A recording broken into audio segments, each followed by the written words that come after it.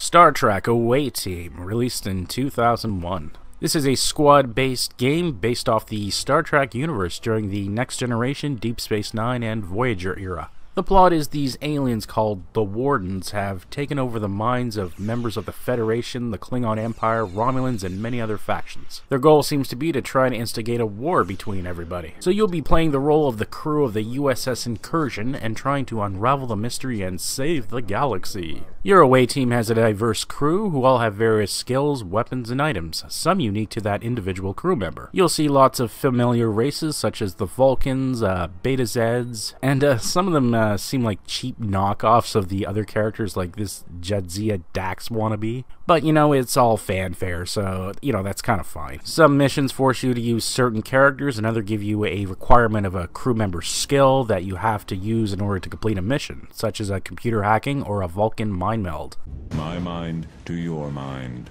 Your thoughts to my thoughts. Missions themselves will take place all over the Star Trek universe from Federation headquarters, the Klingon homeworld, Romulus, other ships, and even a Borg ship. Resistance is futile. We are Borg.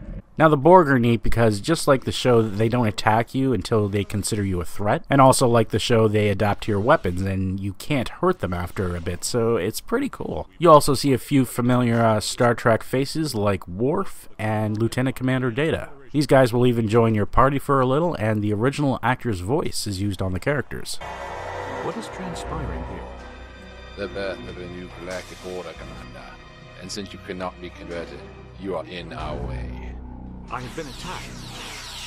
Your team can move around by running or sneaking, and enemies react by sight and sound. So if you're running, you make more noise, and the enemy might hear you even though he doesn't see you, so that's kind of a little cool feature. While playing, you can pause the action anytime and choose where team members move or who they attack. Now, you could not use this feature, but I imagine the game would be beyond difficult if you didn't, so you're kind of forced to. There's not a lot of weapons in this. Uh, the sniper rifle is, of course, devastating due to its range and one hit kills, but very limited ammo. Starfleet phasers have a stun option, which is an instant knockout. Your target gets back up after a while, but sometimes that's fine. If you just need to get by the guy, it just saves you a needless battle. You also get a variety of explosive and grenade types and a few interesting items. Uh, this one here will teleport a dead body away so the other guards won't be alerted to your presence. It's some pretty neat stuff. The combat itself, it's decent. It's uh, usually rather one-sided, though, as having all your team members blasting some lone guard will kill them instantly. Occasionally, it can get pretty nuts. Uh, here, we're all disguised as uh, Romulans, and we got caught. And uh, when we did get caught, we were kind of in the middle of this cluster of Romulans, so this big battle started. I did manage to get through it, but uh,